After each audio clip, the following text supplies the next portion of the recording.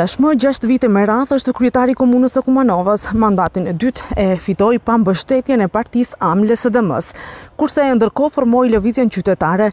Sipas Maksim Dimitrievskit, kryetarit të komunës së Kumanovës, duhet të ketë zgjedhje të parakoshme, siç thotë në intervistën për Radion Europa e Lirë, të largohet kjo qeveri që keq menaxhon me vendin.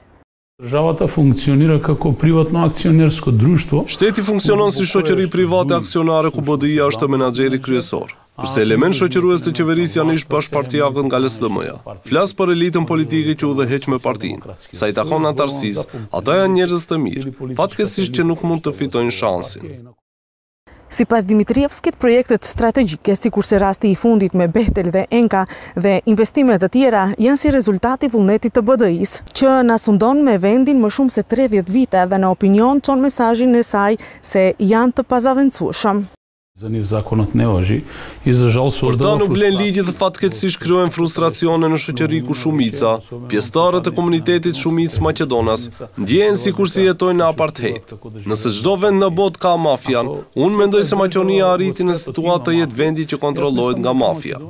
Kryebashkiaku i Kumanovës në intervistën për Radion Europa e Lirë ka theksuar se kjo politikë aktuale qeveritare ndjehet edhe në nivelin lokal, ku siç tha ka një ekspansion të paparë me mafinë e ndërtimit dhe se në periudhën e ardhshme do të publikojë shumë informacione. Dimitrievski nuk ka kursyer edhe MPB-në, duke e akuzuar për keqpërdorim të institucioneve shtetërore, siç tha për qëllim hesapësh politike, Nëse nuk jeni i dëgjueshëm, do të përballeni me kallëzim të re anonim penal dhe për një moment do të hapen dhjetë hetime, ka thënë për intervistën për Radion Evropa e Lirë, kryetari i Komunës së Kumanovës, Maksim Dimitrievski.